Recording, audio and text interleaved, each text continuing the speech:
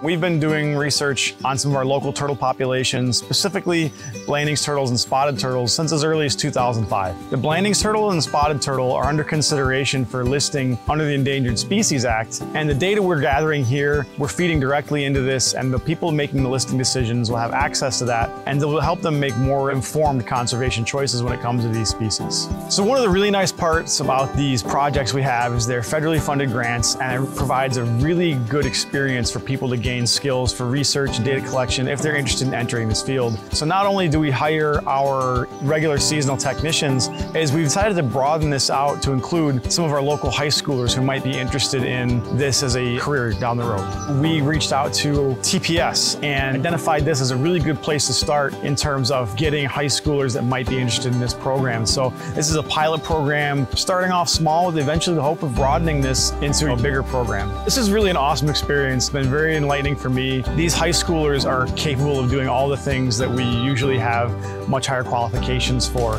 Having my team interact with these students, the relationship they have, it's all been very rewarding. This has been a very great experience on our end and theirs. We really look forward to continuing this in the future because this has been a lot of fun. It's been very awesome. This program is made possible through a generous grant through the Greater Toledo Community Foundation that provided us with these paid internship positions for high schoolers and we can really give these students the full experience, provide them with everything they need to be able to hit the ground running and be part of the team. Having this kind of opportunity at a high school level give opportunities to traditionally underrepresented groups in the field of conservation biology to make them more competitive as they move into the job market.